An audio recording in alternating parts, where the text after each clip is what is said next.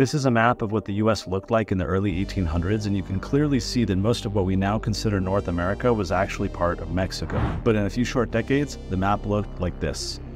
Here's how it happened. A lot of Americans moved into this northern part of Mexico called Texas, or what we now call Texas, and they really liked it there. But you know who didn't like it that much? The Mexican government. So they sent some soldiers to fight and get the territory back, but the Texans came out on top. But they actually declared independence and created their own country called the Republic of Texas, which existed for a little bit until they joined the United States of America. And when this guy, President Polk, came to power, he was hell-bent on trying to get California from Mexico. He offered $25 million for the land, which Mexico declined And so President Polk said, well, time for a war, and ended up sending soldiers, starting a war, and getting the territory. So today there's a huge border running right through what used to be Mexico. And now you know how the US stole Mexico. Learning the truth about history is important, and we've got two books that can help. Head to TuttleTwins.com slash history to check them out for yourself.